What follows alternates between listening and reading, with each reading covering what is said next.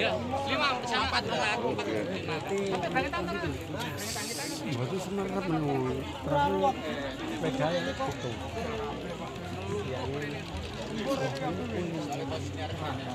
Di sini nulungi wong mau ya.